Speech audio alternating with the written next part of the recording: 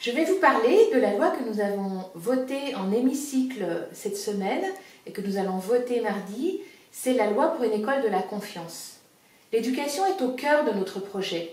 Aussi, pour permettre l'égalité des chances pour euh, tous les enfants, quel que soit leur milieu d'origine, eh bien, nous allons rendre par exemple obligatoire l'éducation à partir de 3 ans. Entre 3 ans et 6 ans, aujourd'hui, beaucoup d'enfants sont scolarisés, certes, mais 26 000 enfants restent encore euh, en dehors du système euh, d'éducation et donc nous allons rendre obligatoire cette formation.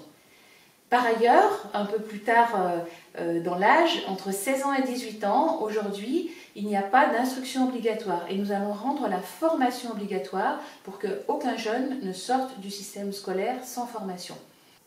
Et puis, nous avons des mesures qui vont permettre de donner une meilleure attractivité à ce merveilleux métier qu'est le métier d'enseignant. En fait, ce projet de loi École de la confiance va donner de la confiance à tous les acteurs de ce système, les enfants qui apprennent, bien sûr, les enfants et les jeunes, les enseignants, les personnels du monde éducatif et les parents.